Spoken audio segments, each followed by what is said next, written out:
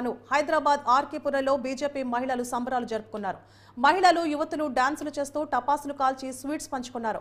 కేంద్రంలో తిరుగులేని విజయంతో మూడోసారి మోదీ ప్రధాని కాబోతున్నారని బీజేపీ సీనియర్ మహిళా నాయకురాలు రాజలక్ష్మి అన్నారు. ఏపీలోని అభివృద్ధి కోసం ప్రజలు ఎన్డీఏ కూటమికి పట్టం కట్టారని చెప్పారు.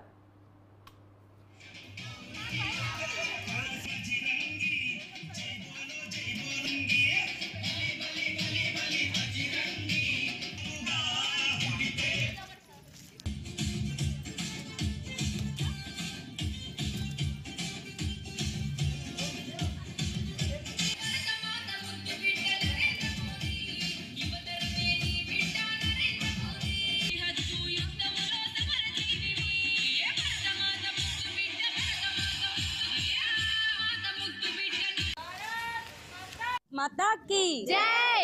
ఈరోజు తెలంగాణ రాష్ట్రంలో ఆనందం ఎంతో చక్కగా వెళ్ళి విరుస్తున్న రోజు. మాకందరికి కూడా ఎంతో సంతోషకరమైన రోజు ఈరోజు.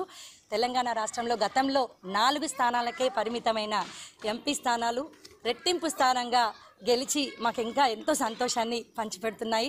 అలాగే మూడవసారి ప్రధానమంత్రిగా నరేంద్ర మోడీ గారు ప్రమాణ స్వీకారం చేయబోతున్న శుభ తరుణం దగ్గరలో ఉంది. మాకు ఎంతో సంతోషం అనిపిస్తుంది.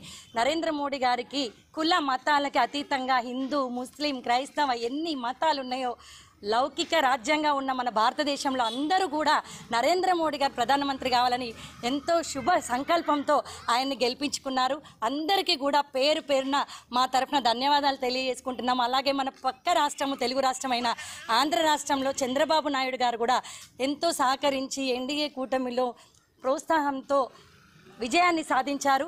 ఆయన ఆధ్వర్యంలో చంద్రబాబు నాయుడు గారు మన ఆంధ్ర రాష్ట్రాన్ని మరింత తీర్చిదిద్దుతారని నేను ఎంతో సంతోషాన్ని వ్యక్తపరుస్తున్నాను. అలాగే ప్రధానమంత్రి నరేంద్ర మోడీ గారి ఆధ్వర్యంలో భారతదేశం విశ్వగురు స్థానానికి వెళ్తుందని మేము ఘంటాపదంగా చెప్తున్నాం.